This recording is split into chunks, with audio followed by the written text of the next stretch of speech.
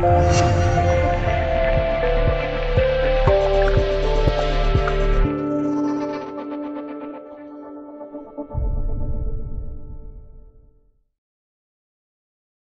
标题：东南欧四国领导人在布加勒斯特举行会晤。新华社：布加勒斯特三月二十九日电罗马尼亚、保加利亚、希腊和塞尔维亚四国领导人二十九日在罗马尼亚首都布加勒斯特举行会晤，并签署一份共同声明，重申支持西巴尔干国家加入欧盟的进程，强调四国在能源、交通等多个领域合作的重要意义。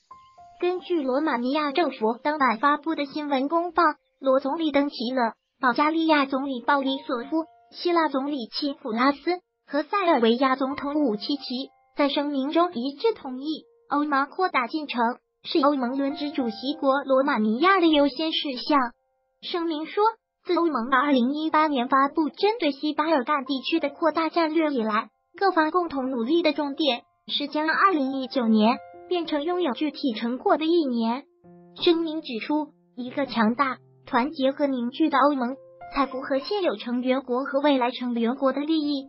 罗马尼亚、保加利亚和希腊对塞尔维亚政府为入盟进程取得进步所付出的努力表示欢迎，鼓励塞尔维亚保持改革的节奏，并确保其可持续性和不可逆转性。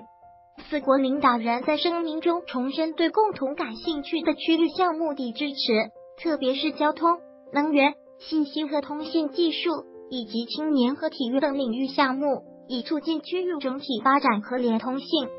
四国领导人坚信，能源安全必须在欧洲层面或区域层面得到加强。齐普拉斯在会晤后对媒体表示，希腊和罗马尼亚将致力于黑海和地中海之间的能源联通。管理，完